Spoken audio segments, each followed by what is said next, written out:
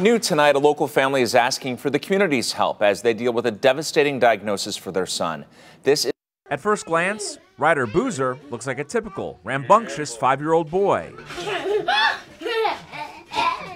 But while other kids continue to run, play, and jump, he is gonna um, lose the ability to talk, walk.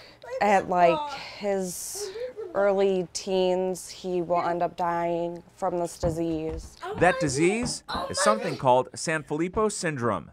It's a rare genetic disorder that affects the brain and spinal cord.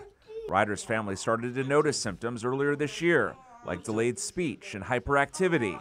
They took him to the doctor, expecting a diagnosis of ADHD or autism. We were not prepared for a, a terminal diagnosis. No treatments, no cure. Oh, gutted, devastated. There aren't words. I mean, how how you can't even prepare yourself for it. Eventually, Ryder will lose his ability to function on his own.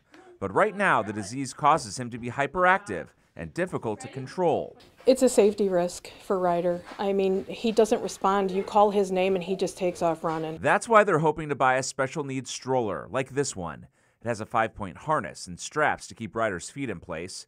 The only problem, It's about $5,000. and insurance won't cover it. So they're asking for the community's help.